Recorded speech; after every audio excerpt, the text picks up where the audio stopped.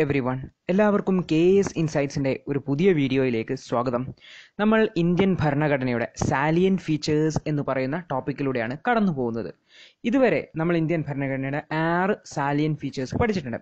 അതായത് ഒന്നാമത്തേത് lengthiest written constitution രണ്ടാമത്തേത് ഡ്രോൺ ഫ്രം വാരിയസ് സോഴ്സസ് മൂന്നാമത്തേത് blend of rigidity and flexibility നാലാമത്തേത് federal system with unitary bias അഞ്ചാമത്തേത് പാർലമെന്ററി ഫോം ഓഫ് ഗവൺമെന്റ് ആറാമത്തേത് കഴിഞ്ഞ ക്ലാസ്സിൽ പഠിച്ചത് പാർലമെന്ററി സോവറിനിറ്റി ആൻഡ് ജുഡീഷ്യൽ സുപ്രീമസിയുടെ ഒരു സിന്തസിസ് ആണ് ഇന്ത്യൻ ഭരണഘടന എന്നത്. ഇനി നമ്മൾ ഏഴാമത്തെ പ്രത്യേകത പഠിക്കാൻ വേണ്ടി പോവാണ്. അപ്പോൾ നമ്മൾ ഓൾറെഡി ഒരു യൂണിറ്ററി ഫീച്ചറായിട്ട് പറഞ്ഞിട്ടുള്ള ഒരു കാര്യം തന്നെയാണ് ഏഴാമത്തെ പ്രത്യേകത. അതായത് ഇന്റിഗ്രേറ്റഡ് ആൻഡ് ഇൻഡിപെൻഡന്റ് ജുഡീഷ്യറി അതിൽ ഇന്റഗ്രേറ്റഡ് ജുഡീഷ്യറി എന്ന് പറയുന്നത് ഒരു യൂണിറ്ററി ഫീച്ചർ ആയിരുന്നെന്ന് ഞാൻ ആ ഒരു ഫെഡറൽ സിസ്റ്റവും യൂണിറ്ററി സിസ്റ്റവും ഒക്കെ ഒന്ന് ഔട്ട്ലൈൻ പറയുന്ന സമയത്ത് പറഞ്ഞിട്ടുണ്ടായിരുന്നു. ഇന്റഗ്രേറ്റഡ് ജുഡീഷ്യറി അപ്പോൾ ഇൻഡിപെൻഡന്റ് ജുഡീഷ്യറി എന്ന് പറയുന്നത് ഒരു ഫെഡറൽ ഫീച്ചറാണ് അപ്പോൾ ഈ ഒരു രണ്ട് ഫീച്ചേഴ്സിന്റെയും ഒരു സിന്തസിസ് ആയിട്ടാണ് നമ്മുടെ ജുഡീഷ്യൽ സിസ്റ്റം വരുന്നത്. അതുകൊണ്ട് തന്നെ ഇന്ത്യൻ ഭരണഘടനയുടെ ഒരു പ്രത്യേകതയായിട്ട് അത് മാറുകയും ചെയ്തു. ഇനി ഈ ഒരു കാര്യം ഈ ഒരു സാലിൻ ഫീച്ചർ നമുക്ക് വിശദമായിട്ടൊന്ന് മനസ്സിലാക്കാം. എന്താണ് ഈ ഒരു ഇന്റഗ്രേറ്റഡ് ജുഡീഷ്യറി എന്നൊന്ന് നോക്കാം. നമ്മുടെ രാജ്യത്തെ ജുഡീഷ്യൽ സിസ്റ്റം നോക്കിക്കഴിഞ്ഞു കഴിഞ്ഞാൽ നമ്മുടെ രാജ്യത്ത് പ്രധാനമായിട്ടും മൂന്ന് കോടതികളാണുള്ളത്. ഏറ്റവും ഉയർന്ന കോടതിയാണ് സുപ്രീം കോടതി. നമ്മുടെ രാജ്യത്ത് ഒരു സുപ്രീം കോടതി മാത്രമേ ഉള്ളൂ അത് ഡൽഹിയിലാണുള്ളത്. അപ്പോൾ നമ്മുടെ രാജ്യത്തെ എല്ലാ കേസിന്റെയും അൾട്ടിമേറ്റ് വിധി പറയാനുള്ള അധികാരം സുപ്രീം കോടതിക്കാണ് അതായത് പരമാധികാരം. ഏറ്റവും പരമോന്നതമായ കോടതി എന്ന് വിളിക്കുന്നത് സുപ്രീം കോടതിയാണ്. ഈ ഒരു സുപ്രീം കോടതിക്ക് കീഴിലായിട്ട് നമ്മുടെ രാജ്യത്തിൽ വിവിധ സംസ്ഥാനങ്ങളിലായിട്ട് ഓരോ സംസ്ഥാനത്തിനും ഒന്ന് എന്ന രീതിയിൽ ഹൈക്കോടതികളുണ്ട്. എല്ലാ സംസ്ഥാനത്തും ഉണ്ടാവണമെന്നില്ല. ഉദാഹരണത്തിന് പഞ്ചാബിനും ഹരിയാനയ്ക്കും കൂടിയിട്ട് ഒരു ഹൈക്കോടതി മാത്രമേ ഉള്ളൂ. അത് ചണ്ഡീഗഡിലാണ്. അപ്പോൾ ഓരോ സംസ്ഥാനത്തിനും ജൂറിസ്ഡിക്ഷൻ വരുന്ന രീതിയിൽ ഓരോ ഹൈക്കോടതികളുണ്ട്. കൂടാതെ യൂണിയൻ ടെറിട്ടറീസിന്റെ ഹൈക്കോടതികൾ എന്ന് പറയുന്ന ഓരോരോ സംസ്ഥാനങ്ങളിലാണുള്ളത്. അപ്പോൾ ഓരോ സംസ്ഥാനത്തിനും ഓരോ യൂണിയൻ ടെറിട്ടറിയുടെ ജൂറിസ്ഡിക്ഷനിലാണ് വരുന്നതെന്ന് പറയാം. അപ്പോൾ ഹൈക്കോടതികളുണ്ട് ഓരോ സംസ്ഥാനത്തും. അപ്പോൾ സുപ്രീം കോടതിയുടെ കീഴിലായിട്ട് ഹൈക്കോടതികളുണ്ട്. ഇതുകൂടാതെ ഓരോ ജില്ലയിലും ഒരു ജില്ലാ കോടതികൾ കൂടിയുണ്ട്. ഈ ഒരു ജില്ലാ കോടതിക്ക് താഴെയായിട്ട് മറ്റു കോടതികളും ഉണ്ട്. അപ്പോൾ നമ്മൾ ഈ പ്രധാനമായിട്ടും ഈ ഒരു മൂന്ന് കോടതികളാണ് എടുക്കുന്നത്. സുപ്രീം കോടതി ഹൈക്കോടതി ജില്ലാ കോടതി. അപ്പോൾ ഈ ഒരു മൂന്ന് കോടതി സുപ്രീം കോടതിയുടെ കീഴിലായിട്ട് കുറേ ഹൈക്കോടതികൾ അതിന്റെ കീഴിലായിട്ട് ഓരോ ഹൈക്കോടതിയുടെയും കീഴിലായിട്ട് കുറേ ജില്ലാ കോടതികൾ അപ്പോൾ ഇതിനെയാണ് നമ്മൾ ഇന്റഗ്രേറ്റഡ് ജുഡീഷ്യൽ സിസ്റ്റം എന്ന് വിളിക്കുന്നത്. അപ്പം നമ്മുടെ ഭരണഘടനയുടെ പ്രത്യേകത എന്താണ്? നമ്മുടെ രാജ്യത്ത് ഒരു ഇന്റഗ്രേറ്റഡ് ജുഡീഷ്യൽ സിസ്റ്റമാണ് വിഭാവനം ചെയ്തിരിക്കുന്നത്.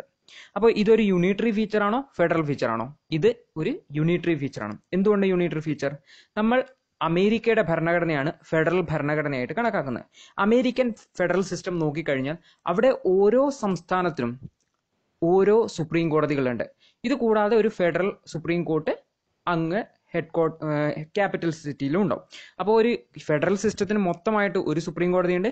ഓരോ സംസ്ഥാനങ്ങൾക്കുമായിട്ട് സെപ്പറേറ്റ് സെപ്പറേറ്റ് സുപ്രീം കോടതികളുണ്ട്. അതാണ് ഫെഡറൽ സിസ്റ്റം അപ്പോൾ നമ്മുടെ രാജ്യത്ത് അങ്ങനെയല്ല. നമ്മുടെ രാജ്യത്ത് ഒരു സുപ്രീം കോടതി മാത്രമേ ഉള്ളൂ. അപ്പോൾ ഇന്റഗ്രേറ്റഡ് ജുഡീഷ്യറി ആണ്. അപ്പോൾ എല്ലാ സംസ്ഥാനങ്ങളിലുള്ള കേസുകളുടെ പരമാധികാര പരമോന്നതമായ നീതി പീഠം എന്ന് വിളിക്കുന്നത് സുപ്രീം കോടതിയെയാണ്. അപ്പൊ ഇതാണ് ഇന്റഗ്രേറ്റഡ് ജുഡീഷ്യറി ഇതൊരു യൂണിറ്ററി ഫീച്ചറാണ് എന്നാൽ ഇൻഡിപെൻഡന്റ് ജുഡീഷ്യറി അതായത് ജുഡീഷ്യൽ സിസ്റ്റം വളരെയേറെ ഇൻഡിപെൻഡന്റ് ആയിട്ട് പ്രവർത്തിക്കുന്നതിന് വേണ്ടിയിട്ട്. ഇൻഡിപെൻഡന്റ് ആയി പ്രവർത്തിക്കുക എന്ന് പറഞ്ഞു കഴിഞ്ഞാൽ നമ്മൾ ഓൾറെഡി പഠിച്ചിട്ടുണ്ട്. അതായത് നമ്മുടെ രാജ്യത്ത് സ്റ്റേറ്റിന് മൂന്ന് ഓർഗാൻസ് ആണുള്ളത്. ഒന്ന് ലെജിസ്ലേച്ചർ നിയമങ്ങൾ ഉണ്ടാക്കുന്ന ബോഡി രണ്ടാമത്തത് എക്സിക്യൂട്ടീവ് ഈ നിയമങ്ങൾ നടപ്പാക്കുന്ന കൂടി മൂന്നാമത്തതാണ് ജുഡീഷ്യറി ഈ ജുഡീഷ്യറി ഇൻഡിപെൻഡന്റ് ആണ് എന്ന് പറയുന്നത് കൊണ്ട് ഉദ്ദേശിക്കുന്നത് മറ്റ് രണ്ട് ഓർഗാൻസിന് ഇതിന്റെ മേലെ ഇൻഫ്ലുവൻസ് പരമാവധി കുറയുമ്പോഴാണ്. ഉദാഹരണത്തിന് നമ്മുടെ എക്സിക്യൂട്ടീവ് ആണ് ജുഡീഷ്യൽ മെമ്പേഴ്സിനെ അതായത് കോടതിയിലെ ജഡ്ജിമാരെ നിയമിക്കുന്നതെങ്കിൽ അവരുടെ നിയമനവും അവരുടെ പിരിച്ചുവിടലും അവരുടെ ട്രാൻസ്ഫറും ഒക്കെ ഈ ഒരു പ്രധാനമന്ത്രിയോ അല്ലെങ്കിൽ കൗൺസിലോ മിനിസ്റ്റേഴ്സോ അല്ലെങ്കിൽ എക്സിക്യൂട്ടീവ് ആണ് തീരുമാനിക്കുന്നതെങ്കിൽ ആ ഒരു ഹൈ ജഡ്ജിമാർ അത്ര ഇൻഡിപെൻഡന്റ് ആയിരിക്കില്ല കാരണം ഈ ഒരു എക്സിക്യൂട്ടീവിന്റെ തീരുമാനത്തിനനുസരിച്ച് പ്രവർത്തിക്കാനുള്ള ഒരു ടെൻഡൻസി അവർക്ക് സ്വാഭാവികമായിട്ടുണ്ടാവും. അല്ലെങ്കിൽ അവരെ ട്രാൻസ്ഫർ ചെയ്താലോ അല്ലെങ്കിൽ അവരെ ഡിസ്മിസ് ചെയ്താലോ അല്ലെങ്കിൽ അവരെ പുറത്താക്കിയാലോ എന്നൊക്കെയുള്ള പേടി ഈ ഒരു ജുഡീഷ്യൽ സിസ്റ്റത്തിൽ ഉണ്ടാവാൻ സാധ്യതയുണ്ട്. പക്ഷേ ഇന്ത്യൻ ഭരണഘടനയിൽ പരമാവധി നമ്മുടെ എക്സിക്യൂട്ടീവിൽ നിന്നും ലെജിസ്ലേച്ചറിൽ നിന്നും ഒക്കെ സെപ്പറേറ്റ് ചെയ്തിട്ട് ഒരു ഇൻഡിപെൻഡന്റ് റോളാണ് ജുഡീഷ്യറിക്ക് കൊടുത്തിരിക്കുന്നത്. അപ്പൊ എങ്ങനെയാണ് ഈ ഒരു ജുഡീഷ്യറിക്ക് ഇൻഡിപെൻഡന്റ് റോൾ കൊടുത്തിരിക്കുന്നത് എന്ന് നമുക്കൊന്ന് നോക്കാം. അപ്പോൾ ഇൻഡിപെൻഡൻസ് ഒന്ന് ഒന്ന് സെക്യൂരിറ്റി ഓഫ് ടെന്യൂർ ആണ് അതായത് ജഡ്ജിമാരുടെ കാലാവധി അത് ഫിക്സഡ് ആണ്. അതിൽ നേരത്തെ ഒഴിവാക്കുന്നതിനോ ഒന്നും തന്നെ സാധിക്കയില്ല. അപ്പോൾ ഫിക്സഡ് സർവീസ് കണ്ടീഷൻസ് ആണ്. ഇത് എന്ന് വെച്ച് കഴിഞ്ഞാൽ ജഡ്ജിമാരുടെ കാലാവധി അവരുടെ ആനുകൂല്യങ്ങൾ എന്നൊക്കെ പറഞ്ഞാൽ ഫിക്സഡ് ആണ്. കൂടാതെ അവരുടെ സാലറി അവരുടെ ശമ്പളം ഒക്കെ കൊടുക്കുന്നത് കൺസോൾഡേറ്റഡ് ഫണ്ട് ഓഫ് ഇന്ത്യയിൽ നിന്നാണ്. അപ്പോൾ ഈ ഒരു കൺസോൾഡേറ്റഡ് ഫണ്ട് ഓഫ് ഇന്ത്യ എന്നൊക്കെ പറഞ്ഞാൽ ഗവൺമെന്റിന്റെ ഫണ്ടാണ് അതിൽ നിന്ന് നേരിട്ട് കൊടുക്കുന്നതായതുകൊണ്ട് ഇതിന്റെ മേലെ പാർലമെന്റിൽ കുറക്കാനോ കൂട്ടാനോ ഒന്നുള്ള അധികാരമൊന്നും നമ്മുടെ ലെജിസ്ലേച്ചറിനോ എക്സിക്യൂട്ടീവിനോ ഒന്നുമില്ല. അപ്പോൾ ഈ ഒരു പോയിന്റുകളൊക്കെ നിങ്ങൾക്ക് കേൾക്കുന്ന സമയത്ത് കുറച്ച് പുതിയതായിട്ട് തോന്നും. കാരണം ഈ കാര്യങ്ങളൊന്നും നമ്മൾ പഠിച്ചിട്ടില്ല എന്നതുകൊണ്ട് തന്നെയാണ്. ഇത് നമ്മൾ ജുഡീഷ്യറിയെ കുറിച്ച് അല്ലെങ്കിൽ ജുഡീഷ്യൽ സിസ്റ്റത്തെ കുറിച്ച് വിശദമായിട്ട് പഠിക്കുന്ന സമയത്ത് മനസ്സിലാവും. അപ്പൊ ഈ ഒരു സമയത്ത് നമ്മൾ ഇന്റഗ്രേറ്റഡ് ആൻഡ് ഇൻഡിപെൻഡന്റ് ജുഡീഷ്യറി ആണ് നമ്മുടെ രാജ്യത്ത് വിഭാവനം ചെയ്തിട്ടുള്ളതെന്ന് ഓർത്തു വെച്ചാൽ മാത്രം മതിയാവും. ഇതുകൂടാതെ ജഡ്ജിമാരുടെ തീരുമാനങ്ങളെ കുറിച്ചോ ഒന്നും തന്നെ ലെജിസ്ലേച്ചറിൽ ചർച്ച ചെയ്യാനോ അവർക്കെതിരെ രൂക്ഷ വിമർശനങ്ങൾ പുറപ്പെടുവിക്കാനോ ഒന്നും പാടില്ല.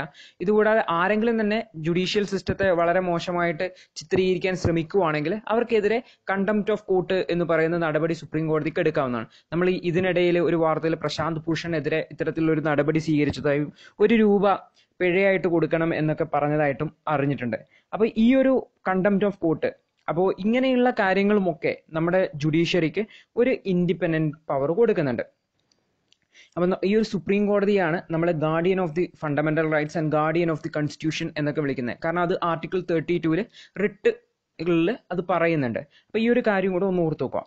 അപ്പോൾ നമ്മൾ ഇപ്പോൾ ഏഴാമത്തെ പോയിന്റ് ഇന്റഗ്രേറ്റഡ് ആൻഡ് ഇൻഡിപെൻഡന്റ് ജുഡീഷ്യറിയിൽ നമ്മൾ ഓർത്ത് നോക്കണം. ഇന്റഗ്രേറ്റഡ് ജുഡീഷ്യറി എന്ന് പറഞ്ഞു കഴിഞ്ഞാൽ സുപ്രീം കോർട്ട് ഹൈക്കോർട്ട് ജില്ലാ കോർട്ട് എന്ന് പറഞ്ഞാൽ ആ ഒരു കണക്റ്റഡ് സിസ്റ്റമാണ് അപ്പോൾ ഈ ഒരു കണക്റ്റഡ് സിസ്റ്റം എന്ന് പറഞ്ഞാൽ ഒരു യൂണിറ്ററി ഫീച്ചറാണ് യൂണിറ്ററി സിസ്റ്റത്തിന്റെ ഫീച്ചറാണ് മറിച്ച് ഇൻഡിപെൻഡന്റ് ആയ ജുഡീഷ്യറിയാണ് അതൊരു ഫെഡറൽ സിസ്റ്റത്തിന്റെ ഫീച്ചറാണ് അപ്പൊ ഇതിന്റെ രണ്ടിന്റെ ഒരു മിക്സ് ആണ് നമ്മുടെ ജുഡീഷ്യൽ സിസ്റ്റം എന്ന് പറയുന്നത്. ഇത് ഇന്ത്യൻ ഭരണഘടനയുടെ ഒരു സാലിയൻ ഫീച്ചർ ആണെന്ന് ഓർത്തു വെച്ചാൽ മതി. അപ്പൊ ഈ ഒരു ഏഴാമത്തെ കാര്യവും നമ്മൾ പഠിച്ചിരിക്കുകയാണ്. ഇനി നമ്മൾ എട്ടാമത്തെ കാര്യമായിട്ട് നമുക്ക് അടുത്ത ക്ലാസ്സിൽ കാണാം. അതുവരെ good bye all the best